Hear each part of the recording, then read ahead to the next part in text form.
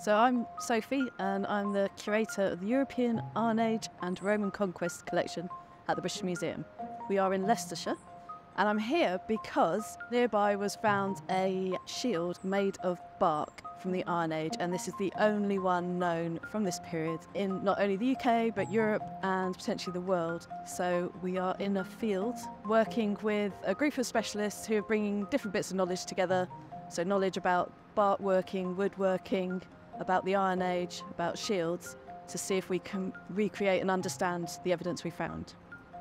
My job is to make things from prehistory. So anything from tools, boats, houses to shields.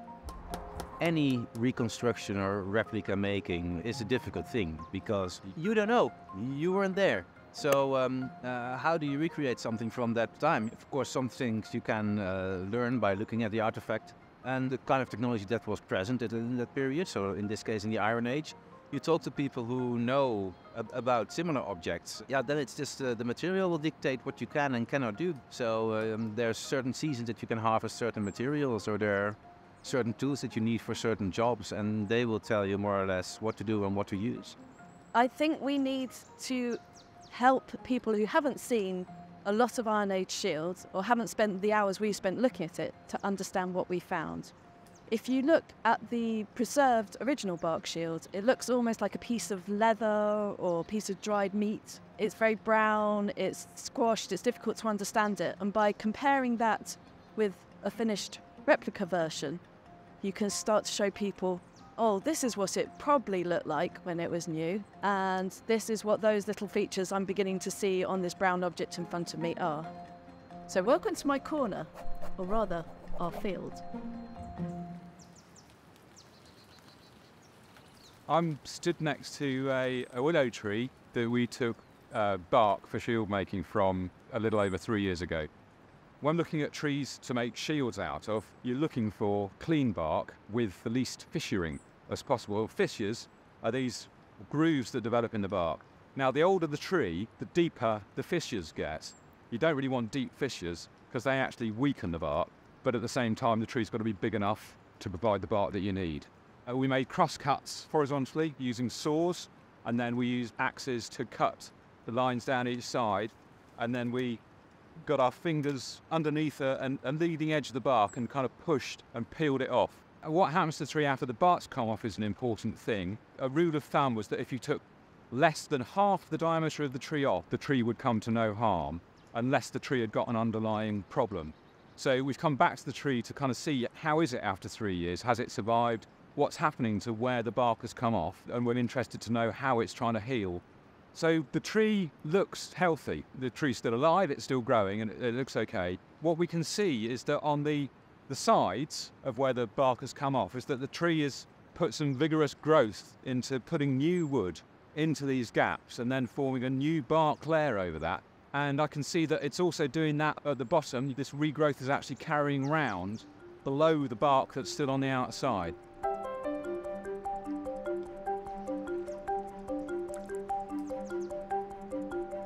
So what I think is really cool is it's bark. So you wouldn't expect someone um, going into battle waving a bark shield. But why not? There may be martial techniques that you could very well do with a light bark shield that you cannot do with a far heavier wooden uh, and skin covered shield. Uh, what we started out with is a piece of bark like this slab over here. And this bark uh, is then shaped. We don't know exactly what shape the shield has, so this is more round, this is more squarish. But um, this is what we're going for at the moment. And um, as you may can see, the next thing we did was to remove part of the cork layer because the cork layer doesn't add a whole lot to the strength of the shield.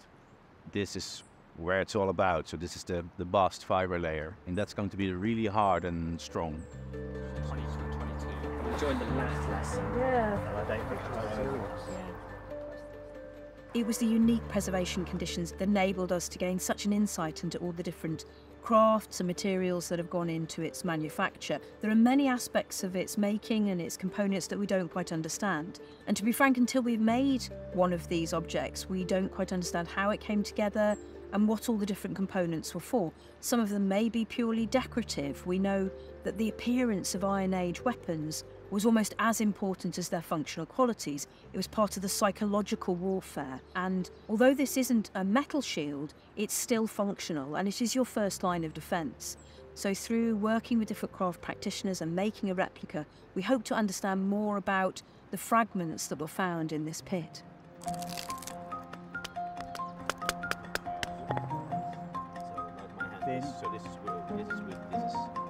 I know so much about this shield now that I didn't know even 10 minutes ago. We're learning all the time. I, for one, have come to this very much as a novice in terms of what you can achieve with bark. So I'm absolutely astounded to watch what these guys are able to achieve with it.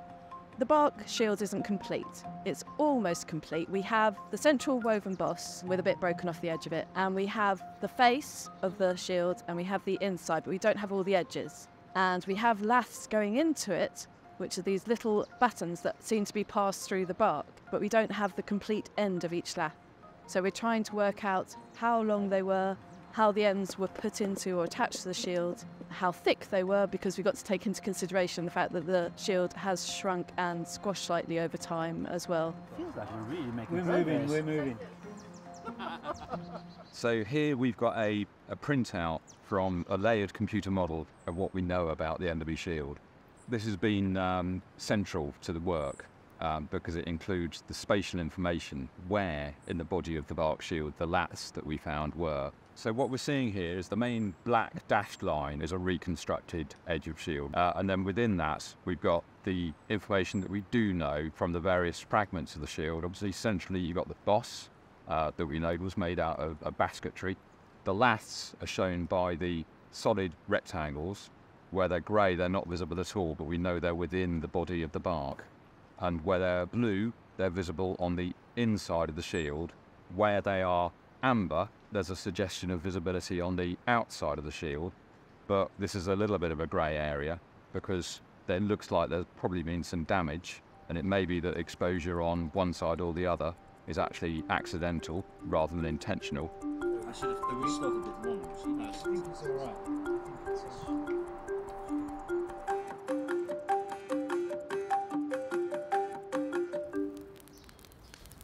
So we're using hazel rods for the binding around the edge of the shield. So it's a round rod that we've split in two along its length. And we're simply going to attach this to the side of the bark. What we're going to do to hold it on is we're going to put little ties through the shield, tying it in place. And if we just use the ties and the binding gets hit when it's being used, there's a real great possibility that it gets knocked out of place. So what I'm doing is I'm cleaning up the outside of these thorns because we're going to use these to actually nail it through the binding and into the shield. And that gives it some real rigidity. There's no evidence to say these were actually used on the shield because there isn't enough of the edge of the shield left. However, during that period of time, the woodworking techniques used wooden dowels to pin pieces of wood and bridges and timber and stuff together. So it was a, a known technique.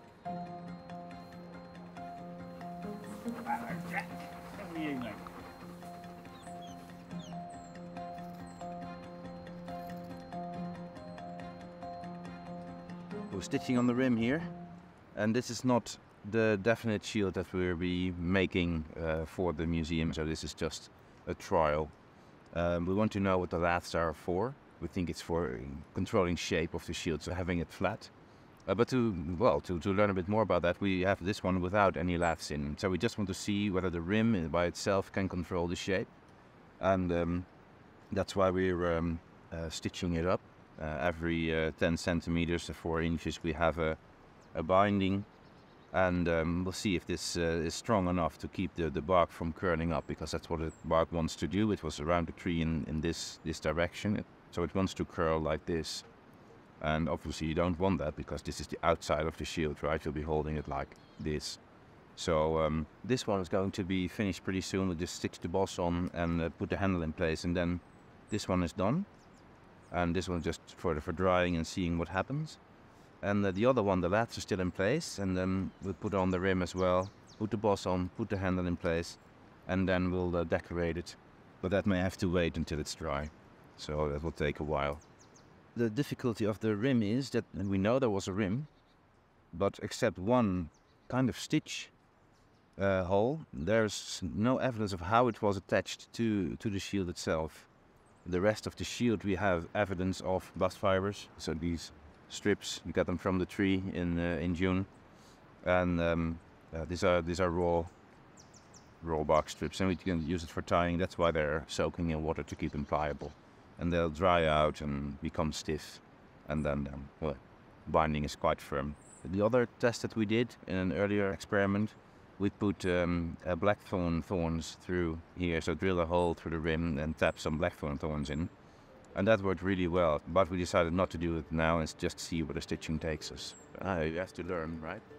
Well, we're learning a lot about timing with this shield. So we've learned about the season when they would have had to take the bark off the tree. So we're looking at between April and July. We've learned about the need to keep the bark in a relatively damp state until you start working it. So again, you don't want perhaps too hot, dry weather. I didn't know the strength you could get from just putting a very thin batten into the bark and how this can add strength to it and help it stop distorting. And you can see the curved shape of the bark from the tree gradually flattening out as these laths are put in. So we think this cross design helped hold the shape of it. And then there's a binding around the edge, which is the next bit that we're working on at the moment. And that binding, again, helps hold the whole shield together. So I'm learning the value of all these little bits of evidence that we can see on the remaining shield. And I can either do a simple stitch, as we did, I think, in the other ones, or I can also go around twice so that this is also filled up, so there's string everywhere. You know, oh, so I was inclined to the double, but uh, I would be inclined to do a double too. So drilling the holes, they have to catch um, the boss here in the in the outer coil, uh, like, the, like the rim of the of the boss, and there we, we stitch to the bark. So those stitches we, we found in the original artifact, so we even know how widely they were uh, spaced and uh, what kind of material was used. So this is going to be, um, well, as good as it gets.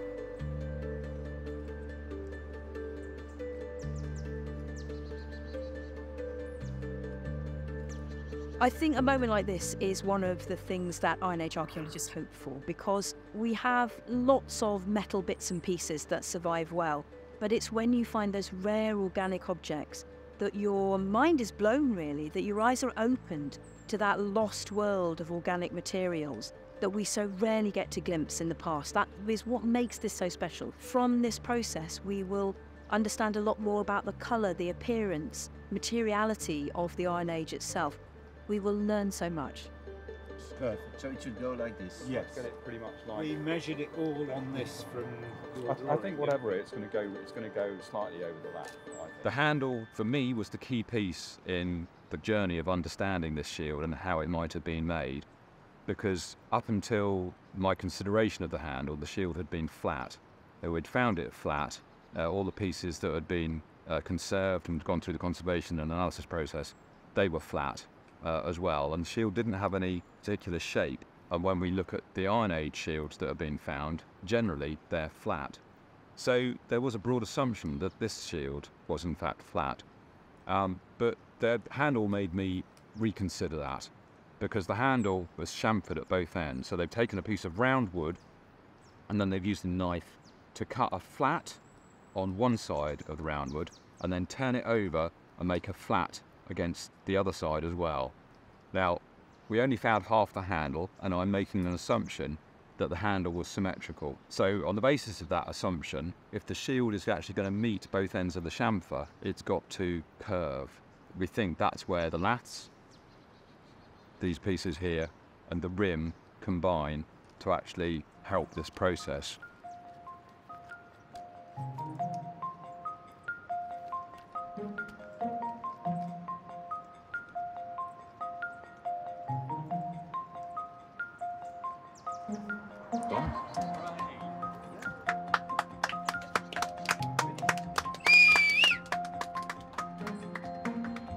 And this is it, the Enderby Shield, recreated as best we can. This is the result of another day of experimental archaeology.